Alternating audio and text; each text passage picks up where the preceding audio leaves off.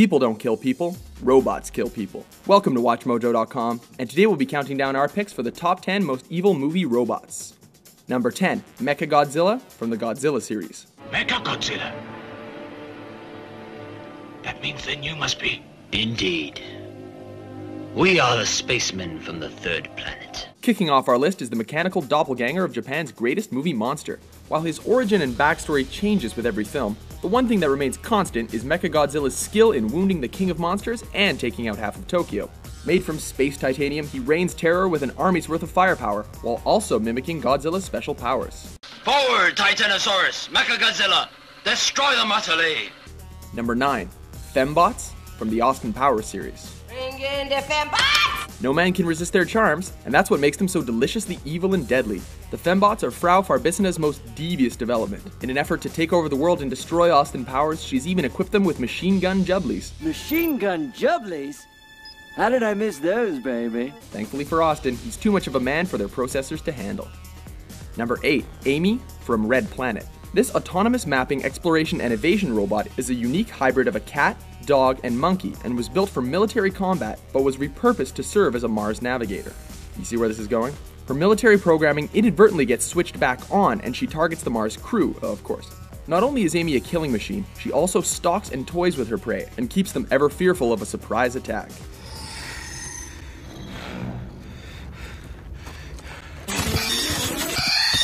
Number 7. Ash from Alien.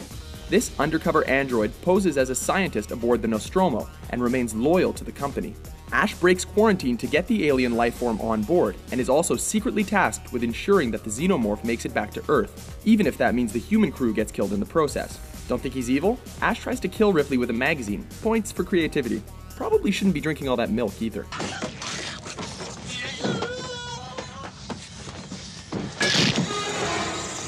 Number 6. Roy Batty from Blade Runner. Another human looking android, Roy is the leader of a rogue group of Nexus 6 replicants and was programmed as a warrior. He returns to Earth to seek out his maker and plea for an extension on his fixed lifespan. It's not an easy thing to meet your maker. He develops quite a ruthless streak, which leads to some pretty graphic violence. Boy, was it ever a mistake to give that guy thumbs. Number 5. Ed 209 from Robocop. Before Robocop, this prototype was created to serve as a means of law enforcement. Built by Omni Consumer Products, this machine was unveiled with a few kinks to work out. It may not be his fault he's so poorly designed that he ignores any sign of complacence, but ignorance is no excuse for evil.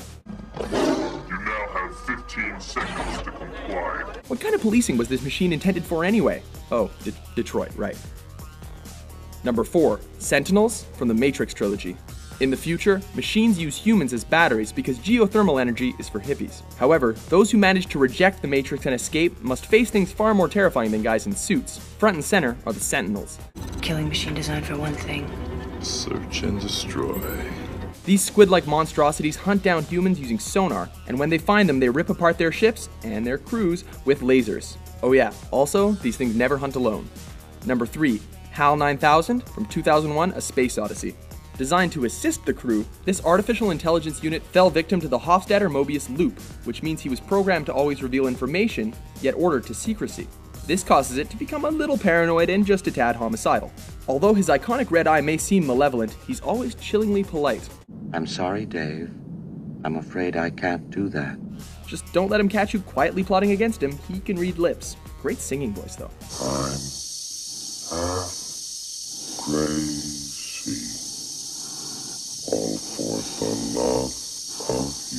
Number 2. Megatron from Transformers. Is it fear or courage that compels you, fleshling? Megatron is a sentient machine from the planet Cybertron, and as the leader of the evil Decepticons, he is hell bent on galactic domination. After letting his lust for power get the better of him, he decimates his homeworld and heads to Earth to carry on with his own destructive plans.